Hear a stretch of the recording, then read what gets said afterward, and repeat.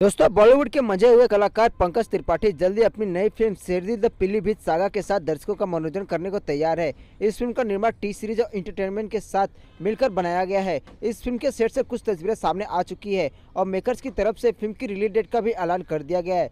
वही आपको जानकारी को बता दें कि शेरदिल द पीलीभीत सागा में वही आपको जानकारी को बता दें कि Sherdil the Pilibhit saga film में शहरीकरण के प्रतिकूल प्रभावों मानव पशु संघर्ष और गरीबी के बारे में एक कहानी रखी जाएगी, जो जंगल के किनारे बसे एक गाँव के लोगों के बारे में है। फ़िल्म की तस्वीरों में पंकज त्रिपाठी साधारण व्यक्ति के वेशभूषा में जंगल में दिखाई दे रहे हैं। वही आपको जानकारी बता दें कि यह फ़िल्म श्रीजीत मुखर्जी का ड्रीम प्रोजेक्ट है।